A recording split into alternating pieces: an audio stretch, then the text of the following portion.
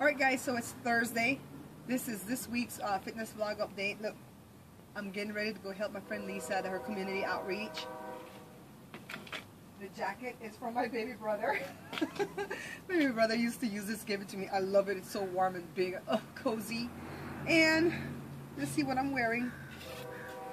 So, I'm wearing like a little pencil skirt with some tights, some boots, and a shirt. So, now let's take a look at Joe. Alright, so check out Joe. Joe, are you standing like you're cranky? Straighten up. When you get old, when you get old, you gotta lean up. Joe's so silly.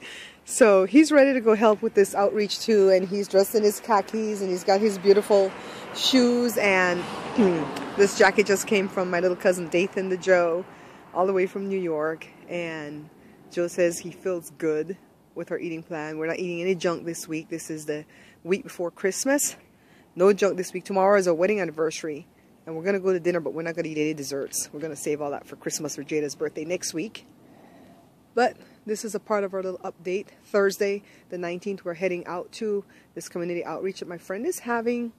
And just want to show you guys today because we're all dressed up. But I'll update some more between now and Saturday. Oh, it's okay. That's what it's gonna be. See, Joe is setting up the screen because we're going to start printing some bottles. This is what we do for a living during the daytime. See, he's jogging the machine. And you know, one time, you see that chain right down there? Don't tell people what I'm doing. one time, I'm going to tell on Joe right now. See that chain right there? Joe's supposed to take a stick when he's going to test the tension of that chain, like this, see? It's a paint stick to test it. He put his finger back in September instead of the stick, and then he jogged it. When the chain grabbed his finger, he almost lost it. Oh, it's almost gone. It's almost diminished, that's why. But it happened in September, and he was off work for a month.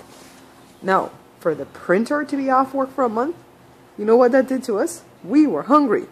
We, we had a bare pantry. now, the reason that I'm recording today So the reason that I'm recording today is because today is our wedding anniversary. 27 years ago, Joe and I got married. And it's been an awesome ride with Joe. He's very supportive of everything I do. I hope that I'm as supportive as he is with everything he does, and I think I am. We've been doing this business for 11 years, and who can say that not only have they been married to their husband for 27 years, but we've worked together for the past 11 years, and we still actually like each other.